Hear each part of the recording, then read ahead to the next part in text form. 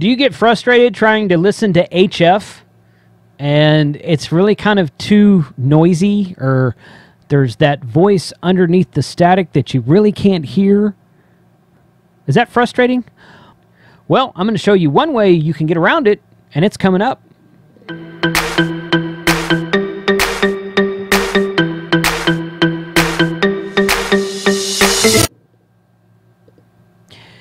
Hey guys, this is Jason KC5HWB uh, with Ham Radio 2.0, which is where I do reviews of radios and tell you about new items in amateur radio. So if that's something you're interested in, please uh, consider subscribing below and smash that like button if this is a video that uh, you get benefit from. So today, I am very happy that um, the great folks over at R&L Electronics allowed me to review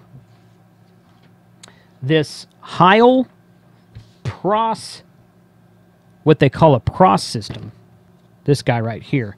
Parametric receive audio system and powered speaker. Now, you can still purchase the uh, the system with the equalizer and the powered speaker and one, but um,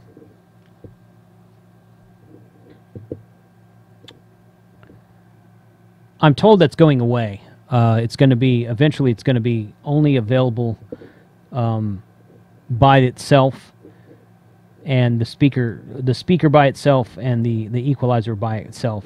This is currently in stock, of course, uh, and free shipping on this from R&L Electronics. But um, they're going to stop selling it as a kit before too long. So I just recently learned. But I've got both pieces here today. Um, whether you use the equalizer by itself or you opt to get both of them, um, it's your choice at this point in time. So, get a quick uh, zoom in shot here. This is the uh, manual that comes with the system, and it got a really good diagram here about how to hook everything up powered speaker with a 5 inch driver. And this is these are the cables that come with it. This is the power cable. Standard uh, port for the uh, computer right there, computer power cable. Like most monitors or computers or power or desktop computers are powered with. That goes into the back of the speaker. Comes with an XLR. Um, this little doodad here and then this uh, quarter inch to it's actually got an adapter. It's a 3.5 to millimeter to 3.5 millimeter with a adapter to take it to quarter inch. So all that comes there. It also comes with this neat notice here that says the system has been tested and pre-configured for our recommended starting settings. It should look like the graphic below, which is really cool. In case one of the knobs gets bumped, you can see what it should look like. Everything should be set 12 o'clock except for the mid frequency, which should be set to 2.5 kilohertz, which is right there. So we're going to look at that, which of course is right here.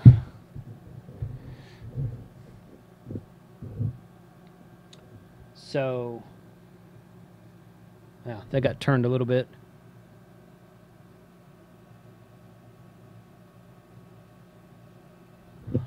that's about it right there. That's that. There's the back of it.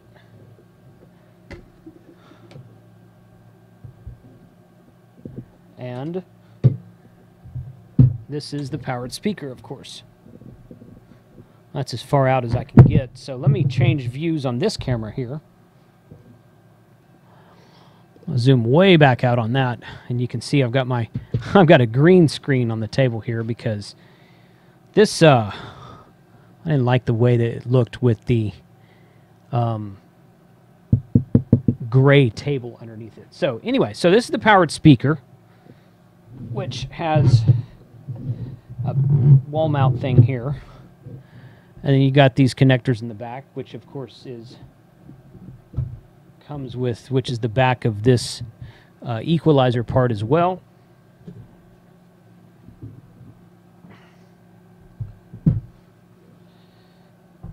So you've got that together. piece of plastic. And then we've got the connectors here. And I've got my trusty Flex Maestro with me today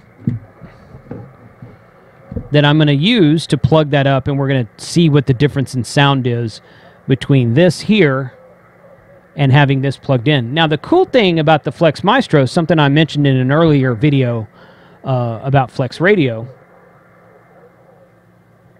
is the Flex Maestro um, has a port on the back of it that says powered speaker. I haven't tried to plug up a regular speaker to it yet. If you can hear this, I don't know if you can hear it or not. It's not turned up very loud right now.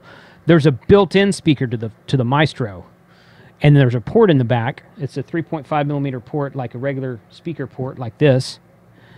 Um, and it says PWR speaker, power speaker. So I've never tried it without a powered speaker. So today we're going to get to try it with the powered speaker. So let's hook all this up and see what it looks like. Okay, first and foremost, zoom that in a touch. So I've got the the the flex you can see hooked up here, which is the powered speaker port in the back of the Maestro, and then it's going in. There's there's an XLR in, and there's also a 3.5 millimeter jack in port on this, which is that's where that's plugged in. It's a green uh, circular port like on the back of a computer for computer speakers. So the the 3.5 millimeter cable to 3.5 millimeter cable with the quarter inch adapter taken off of it is uh, what's currently connected to that. And I'm going to switch over to this view right here. Okay. I'll turn the microphone on. And we see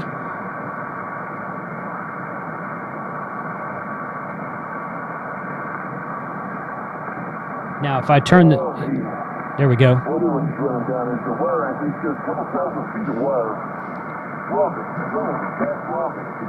Turn around here. This is not the equalizer, this is just the powered speaker.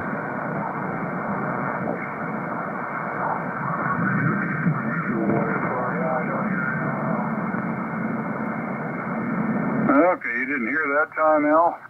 I don't hear a thing. I cannot tell he's in there.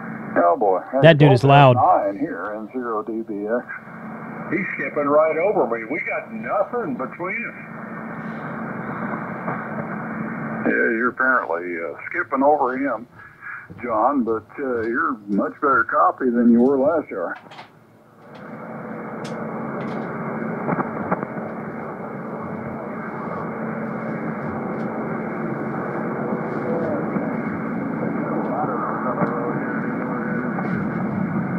Oh, did it just blow, or were you just directing her around it?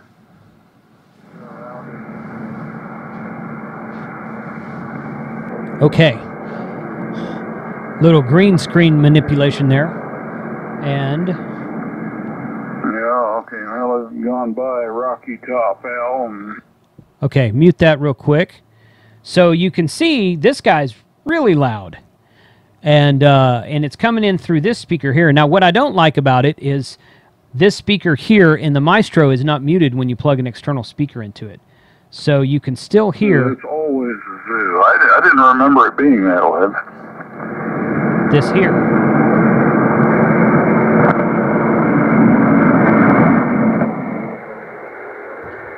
So now I've turned down the powered speaker completely, this guy right here, completely, and it's just coming out of this speaker. So that's just, I mean, I'm doing a, Okay, well, sounds like your day's about done, and my wife just got home. can't can't hear the guy he's talking to, but uh, but you can hear you can hear him really well. He's coming in.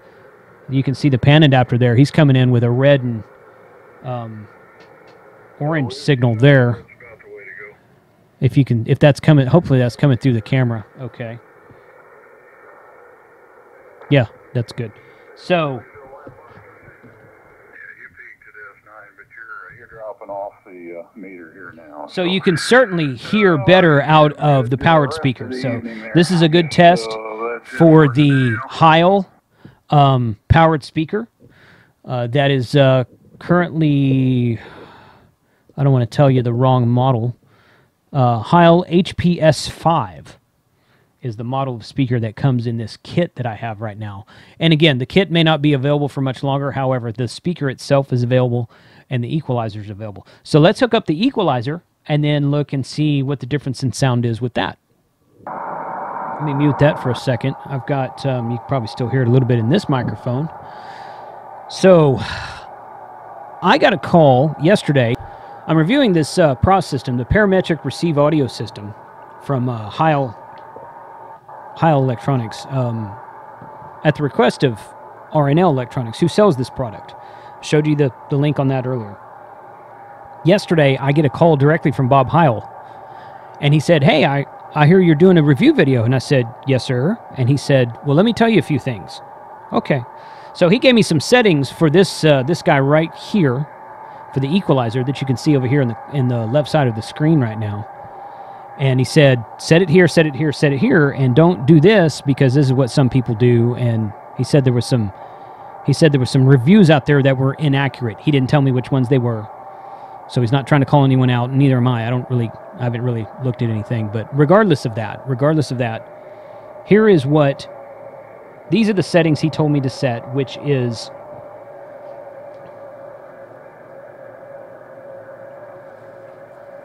Oh wow. These are the settings he told me to set, which is uh, where you see the high and low. Let me get a pen so I'm not pointing at it. About one o'clock each. The output level is just the level that it's pumping to your speaker. So as far as the as far as the actual device, that doesn't I don't I don't believe that matters. But the gain is at about three o'clock, and then you play with this knob between like he said between like two and four, three and five, something like that. So I'm I'm kind of spinning it between like one o'clock and five o'clock like that. So we're gonna go try to find a weak signal here.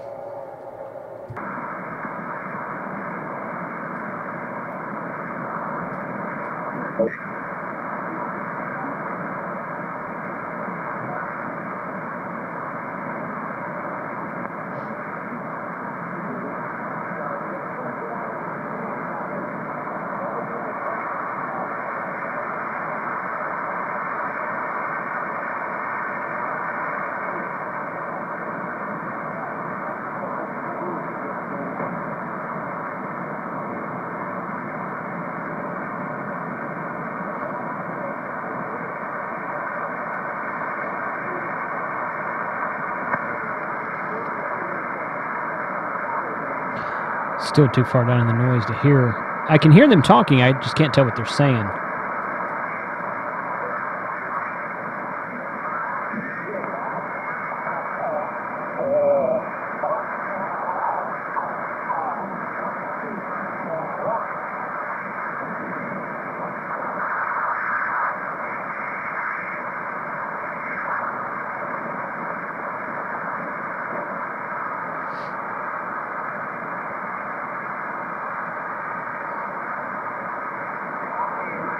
Okay, there's somebody down in the noise.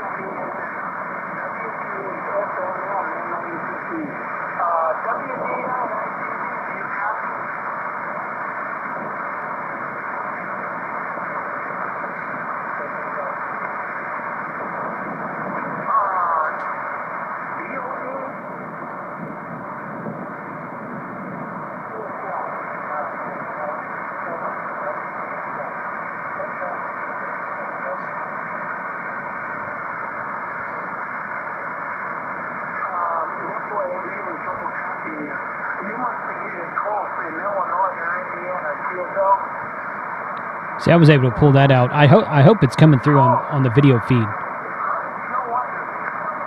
But you can see there's not much of a signal there. Just right here is where the band scope is.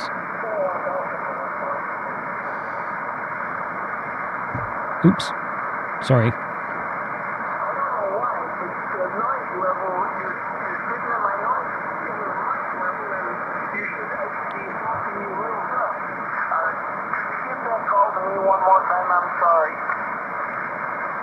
the band's fluctuating a bit too, so you can see the band scope kind of light up a little bit more when his signal gets stronger.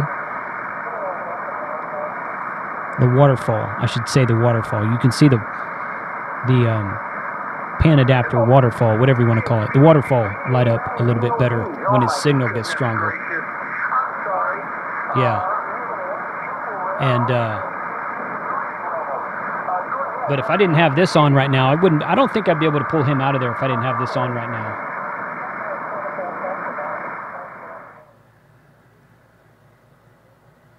I've turned the, the equalizer completely down.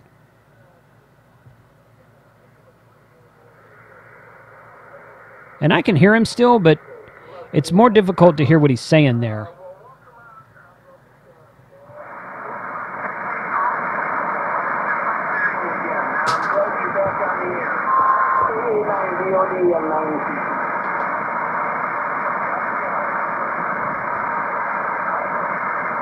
One, two, three. I think I turned it.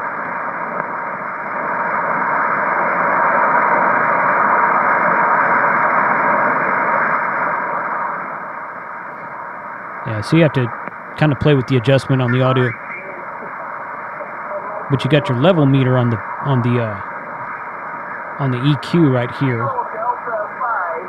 It's got an overload button. So so the good thing about it is that you know if, if you if you run across a really strong signal, it'll, it'll it'll show you it'll light up an overload. It did it just then when he get when the band came up. I don't know if you saw that or not. I think it was out of the camera.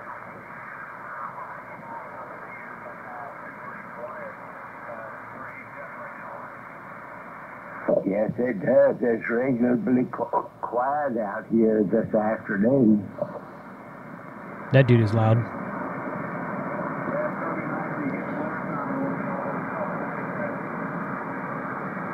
Right. We are running an uh, ACOM 1000 amplifier and an ICOM 9100 dri- driving the amp with about 60 watts. There we go. Okay, so that is that's a pretty darn good uh, um, it's a pretty darn darn good test if, if you ask me. Um, let's mute this. Let's mute that whole thing. Kill that. Okay, so it seems like, and I don't. I, I think I, I think I mentioned earlier, but I don't remember right now. Um, let me switch back over here to this. Nope, this one here. Okay, so right here is a red. a uh, there's a red circle around this eighth inch jack that says REC one eighth. You see that right there? That's directly, according to Bob Heil, that's that's made to come out of that's made for a recording device to come out of the EQ into a mixer, into a camcorder, whatever, camera, whatever, some kind of audio recording device. I mean, you could do it as, as a like a digital audio recorder, I, I guess. You could do it that way. So that is that's made to be direct a direct feed for recording audio, and then uh, these t- there's two. Um, I keep switching it, don't I? Uh, there's two. This one and that one. There's two mic jacks right here, so that you can have an operator and and a spotter or a logger, someone logging for you, listening at the same time. And then you can, and then they sell an accessory that goes in one of these mic jacks that's a left and right splitter. So that, and then it has independent adjustments in the left and right splitter, so you can turn the no, the the the audio level up and down on either the left or the right side, so that for some folks who hear better in one ear, you can adjust it more so it sounds more level on either side than uh, than what it would coming directly out of the radio. So it, there's a lot of extra stuff in this that I have not covered, obviously. So so here's the good news. Okay, at the time of this recording, when I'm, I'm I'm putting, I've been working on this video for a couple of weeks now, off and on, testing. I, I wanted to test it before I took it out of the box and or before I put it on camera. I took it out of the box and tested it before I put it on the camera. Um, so here's the good news. Um, at the time of this recording, we're actually about to to leave the country uh, uh, for another DXpedition to Costa Rica, which I've done. I did in 2015. I did in 2016. I haven't been back since 2016, um, and I'm really looking. I'm very much looking forward to getting back into that because that was a fun that was a fun trip those those two trips and I got a lot more equipment now than I used to. I'm going to take my Flex. I'm going to take this. I'm going to pack this this this system up, this Pro system here, and take it with me. And I told Bob Heil that, and he's like, "Yes, do that." so nice dude, really nice dude. So hey, who has this? What do you think about it? What what radio do you use it with? Okay, maybe the Flex Maestro is not the best radio to be using it with. Um, maybe something like an ICOM IC706 Mark II or an IC7000 or an FT857, something that just doesn't have the the filtering in it quite that the that the newer SDR radios have, something that's a little bit more open when you're listening to it. That there's a lot more noise that it draws in. Um, because the filtering's not there. I mean, not. I mean, you can add filters to the IC7000, obviously, but stock filtering is not there. So, what? Who's tried this on different radios? What radio have you tried it on? What? Uh, how, what do you think? Is it worth the investment? Is it worth the investment for you know you've got the equalizer and you've got the the speaker sold in the kit right now, like I said earlier, but you can buy them individually. And um, is it worth uh, having the powered speaker along with the EQ? That would be my question. Um, this is really cool. You know, I thought this would be something that I would review. Oh yeah, I'll review it, and then I'll I might sell it or give it do a giveaway or something. Now, this is this thing is cool. I'm going to keep this, especially for DXpedition to Costa Rica, man. Um, I think it'd be great for a uh, parks on the air situation. I'm going to start doing some parks on the air stuff too. So, 73 guys, thank you for watching. Let me know what you know. Let me know your thoughts in the comments below. I'll catch you next time.